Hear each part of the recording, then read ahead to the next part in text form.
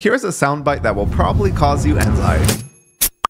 And if it didn't, it's because you're not someone who is over the age of 18 who has ever held a job where you had to communicate with other people. At this point, it's almost like a known phenomenon that the Slack notification sound causes a hit of anxiety to people that have worked in the corporate life long enough. And the most interesting piece of irony is that it was originally supposed to do the exact opposite. That's right, the company that manufactured that sound that gives you a ton of anxiety on a Friday 4:59 p.m. when you're about to close your work laptop and you hear it and you realize you're gonna have to talk to someone else for at least another five minutes, the company that made that sound was originally supposed to be the thing you use after the workday was done. And it gets crazier than that. This is the story of how Slack went from a 50 million plus dollar funded video game to the thing that literally makes the fabric of corporate nightmares. Now, if you're part of the younger audience, you might see Slack as the Discord for the workplace, but it's actually the other way around. Before Discord existed, there was Slack, and before Slack existed, there was a company called Tiny Speck. In 2009, Stewart Butterfield ended up leaving his job at Yahoo with three other people to found a game called Glitch. The whole idea about Glitch was that it would be an MMO that took place in a 2D world, and instead of combat mechanics, it was sort of like Minecraft met RuneScape met MapleStory in the sense that you could just sort of build, interact with the world, train skills, and just have fun with other people and build the world around you. They managed to raise $1.5 million in angel funding in 2009, which given the economic status at the time, was definitely not the easiest thing in the world to do. And in 2011, a grand total of $10.7 million for a Series B. And this is kind of unheard of for a random company that came out of nowhere during an economic crisis that was supposed to make a 2D video game. But it's not as random as you might think. You see, Stewart actually founded a company a couple years prior, and that company made another video game called Never Ending. Never Ending was a super basic video game that started in 2002 and ended up closing down in 2004 due to lack of audience. But Stewart didn't want all the code that he had written for the game to go to waste, so he started thinking of ways to repurpose it. They took a look at all their source code and all the functionality they have built, and they came up with the idea for a live photo sharing app. And you may have heard of it, it's called Flickr. It eventually pivoted to just sharing photos online in general. And if you were someone who was born before like 1998, you probably remember seeing a bunch of images hosted on Flickr. It was sort of like the Imgur back in the day and in an insane twist, they actually blew up. Stewart successfully repurposed his video game code to make a viral website that eventually got acquired by Yahoo in 2005. It's speculated that Yahoo purchased them from anywhere from like 20 to 30 million dollars, and what happened to Flickr next, you could probably imagine, and just like Yahoo did with their own website and everything else they acquired, they just ran it into the ground with poor management. Now, Stewart and a couple other people ended up staying at Yahoo after the acquisition, and after four years of being on the Yahoo team, he felt like he was not being taken seriously, that nobody took his advice, and he decided to leave with a couple other people that were on the original team. And he still had a dream to build a video game, and that's when he started a company called Tiny Speck with the newest idea, a 2D game called Glitch.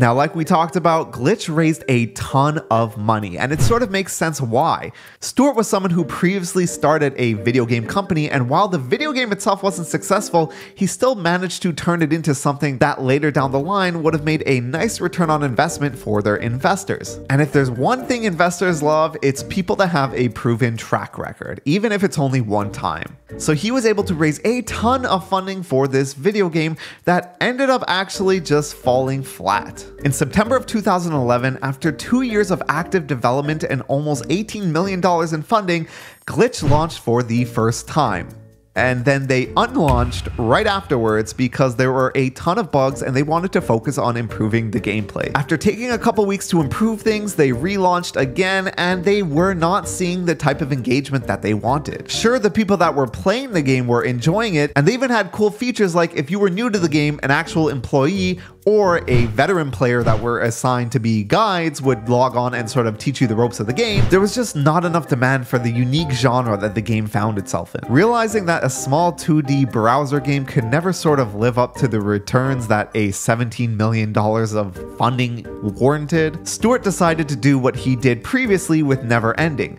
he tried to look at the technology they had built for the game and repurpose it. And there were a lot of opportunities. He had an amazing internal team due to all the funding, and there was a ton of stuff they built. One of which was a chat system for the team to collaborate with each other. This was something that all of them realized they would never want to live without if they had to work at another company. It was just so convenient to chat and message each other whenever they needed to, and have different channels for different topics and priorities within the company.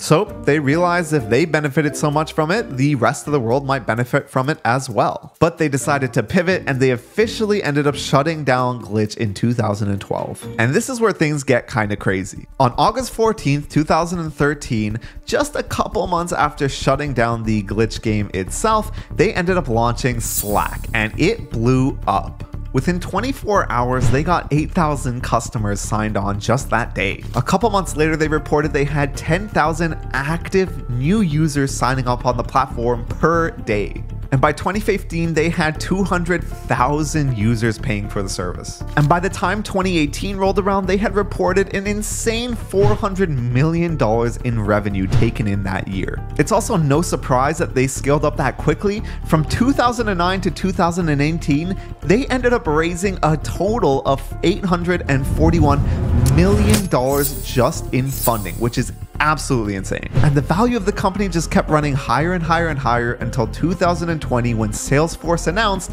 they would be buying Slack for a reported 27 billion dollars. And honestly, it's one of the most insane startup journeys I have seen. Stewart wanted to build two different gaming companies and both times he pivoted into different ideas on top of the same technology. Now, I don't know what that says for the gaming industry, but it's pretty impressive that he was able to salvage what he made and turn them into giant profits in the way that he did. You can rest assured that if he ever tries to start another gaming company after Slack, it's probably going to get an insane amount of investing and funding, not because they think the game will be successful, but because whatever he makes afterwards will probably just skyrocket into oblivion. And at the current moment, Slack is kind of undefeated. The only alternative out there is what? Like Teams?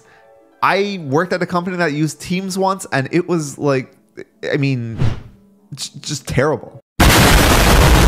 Now, I'm a big Discord fanboy, but Discord sort of marketed itself towards gaming enthusiasts and sort of communities of that sort, so I don't think it's going to be replacing workplace Slack anytime soon, even though for my businesses, I use it instead of Slack. But I think the moral of the story here is that sometimes you build something and it has a lot of traction. One of the reasons Glitch was so important and popular amongst the few users that actually used it was because the chat system was like nothing else. It built an insane community within the players, so much so that players were willing to onboard newer players as guides so that they could just keep playing the game and have a community to interact with. And Stewart, seeing that that one feature had so much impact on a games community, realized that it could probably have the same amount of impact in a much more lucrative and just quite frankly bigger market such as B2B workplaces especially in 2011 when people were still using things like Slack to communicate and there were no really good tools for teams that were remote to work with each other or even teams that weren't remote to keep track of what they were sending each other. And that, my friends, is why every time I hear a Slack notification, even though a part of my soul feels like it's diminishing and I feel an immense sense of impending doom, and I feel like I'm letting down Naval, Paul Graham, and all the other entrepreneurs that came before us, I also, in the back of my mind, remember that key lesson that Stewart wanted us all to learn. Build a failing gaming company, take the technology, and use it for something else. Make sure you subscribe, and I'll see you in the next video.